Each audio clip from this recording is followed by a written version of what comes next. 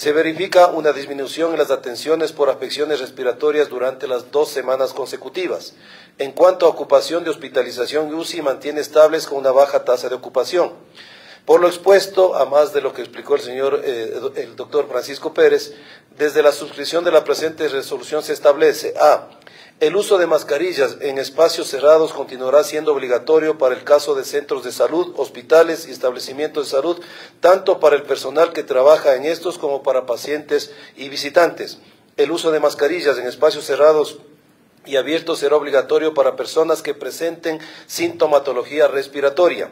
C. Se recomienda utilizar mascarilla en lugares cerrados y en espacios abiertos en los que no se puede garantizar el distanciamiento físico.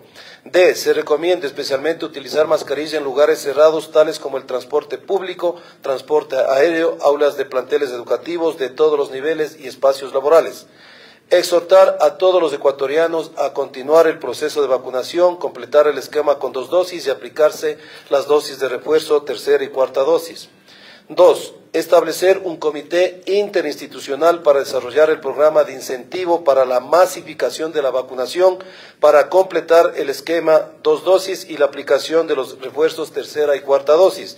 Este comité estará integrado por el señor vicepresidente de la República, presidente del COE Nacional, el, Ministerio de Salud, el Ministerio de Educación, el ministro, Ministerio de Inclusión Económica y Social, Ministerio de Gobierno, Ministerio de Defensa, Ministerio de Ambiente, Agua y Transición Ecológica, el Ministerio de la Producción, el Servicio Nacional de Gestión de Riesgos y Emergencias, la Policía Nacional, las Fuerzas Armadas, el CNCID, la ANT, el Registro Civil.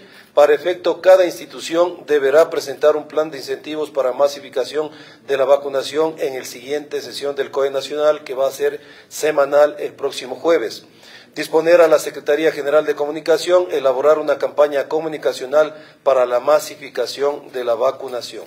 Esto es la